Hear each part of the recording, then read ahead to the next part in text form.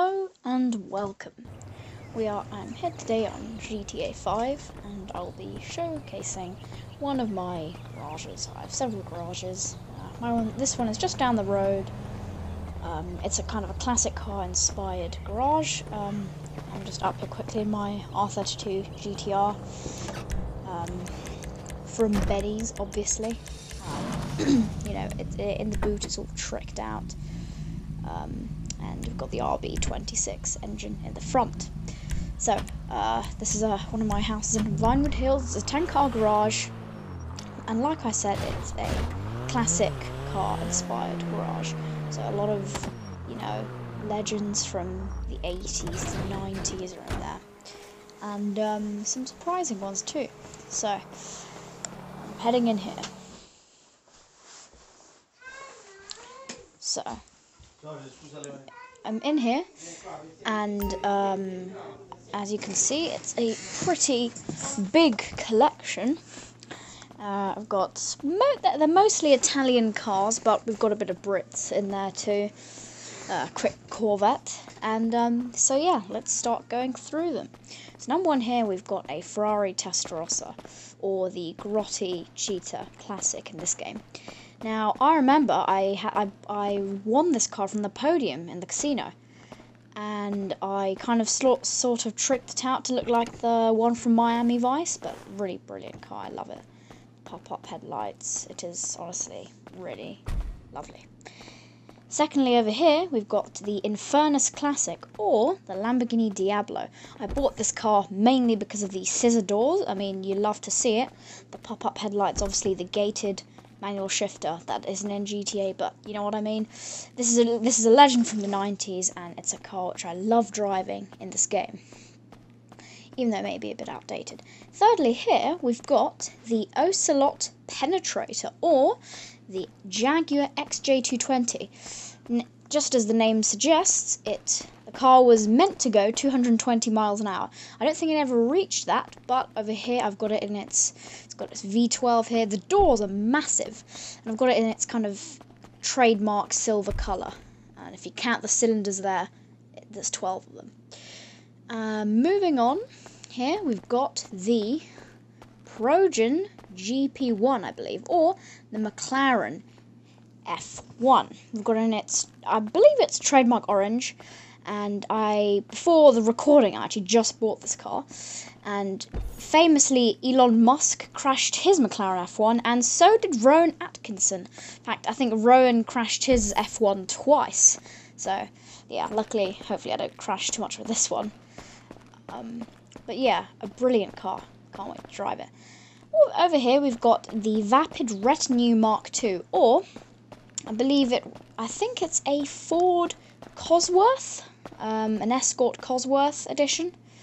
Um, I believe it's one of those. There's many of those, all the Cosa, if you know what I mean. And moving on, we have the Ocelot Ardent, or the Lotus Esprit. Uh, now, I, I bought this car because it's got like a mix of modern and futuristic. Like, if you go, if, like, if, look, i I'm entering here, and if you look around the interior, it's actually quite minimalist, and I love that panoramic sunroof. It's one of the main reasons I bought the car. And it does have a machine gun on it too, so, you know, why not? Um, now, over here, we've got a Michelli GT. This is another car which I want from the casino. I believe it represents some sort of classic Alfa Romeo, I think, in my opinion. Beautiful car, though. And over here, we've got the BF Weevil. Now, or the Volkswagen Beetle. Now, before you judge me on the paint job, I won the I, I, I won this car after doing these side missions for English Dave and the KO and the K, Cayo Perico heist. So I kept so I received the car like that, and I want to keep it like that. Here we've got the Tropos Rally, or in real life known as the Lancia Stratos. This is a legendary rally car. I actually got this car um, free. Um, one day uh, it was free for a week or something. So, um, legendary car there. Um, and just over there, uh, I accidentally exit my garage. Um, but yeah, a, a, beautiful car and really famous as well for its rally capabilities. It was a rear-wheel drive car, but it was still awesome at rallying. And in the corner there, I forgot to mention it, but it, we've got a Coquette Classic, or a Classic Corvette. I believe it's a C1 or a C2 Corvette, like the second generation or the first generation Corvette.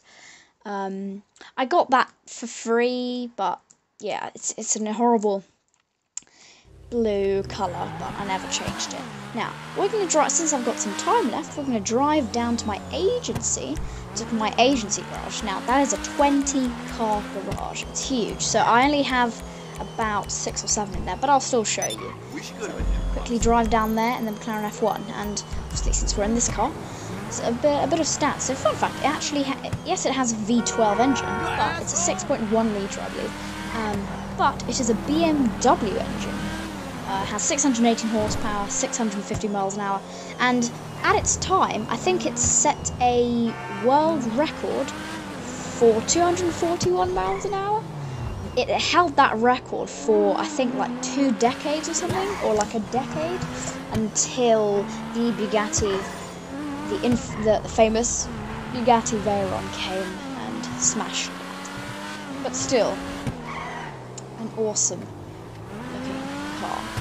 even in this game, you, you feel so important just cruising around in this. Um, so coming up to my agency here, but since we're going into the garage, I'm, I'm just gonna kind of pull around into this kind of apartment complex here. Just leave the car, just casually leave a 1.2 million dollar car uh, sat there in the street, like like it's nothing. Anyway, heading into the agency here. I really love the agency actually. Um, it is really good update. Uh, the, the, contract in general has got really good music. It's, it's, a really good update. And this, and I have filled up my agency. Not filled up, but I've put some cars in this agency. Now, this Rolls Royce Cullinan that you see to my left is not mine. This is part of the agency. It's it's armored, um, and uh, the it's called the Enus Jubilee in this game. A really nice car though. Now, here's my floor where my cars are. So, first of all, we've got the Buffalo STX. We had to get it. It's got the Imani tech on it, armor, and the missile lock-on jammer. A brilliant car, very meaty and powerful. And over here, we have a Gallivanter Baller ST. Now, this car is, is barely fitting in this slot, and it was free for a, for a week. And um, yeah, I'm not sure about the paint job. I might just change it to a simple like black or white. Here we've got my Ignus, my lamp, my my Ignus, my Pegassi Ignus, or the Lamborghini Sian. In real life, this is a hybrid, um, but is a, it, it, this car is it, it looks just it, it's raucous, and I love the, the the doors too. Here we've got the overflod Zeno.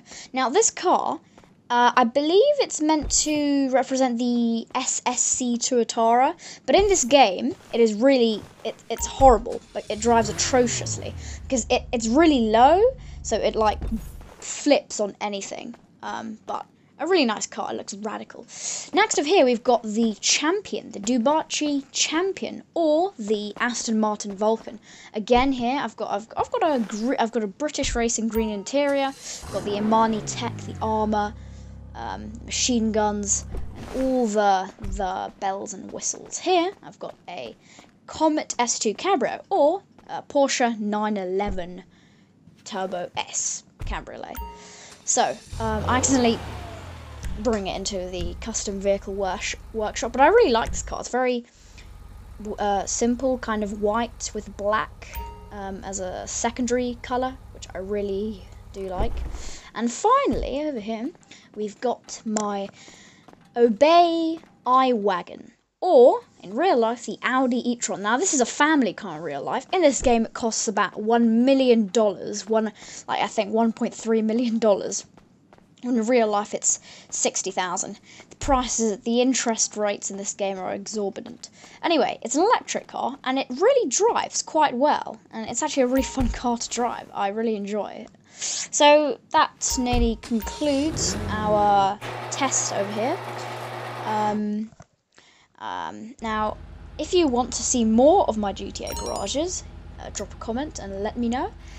Um, feel free to subscribe if you want to. I'm not going to force you. But uh, thank you for watching this video.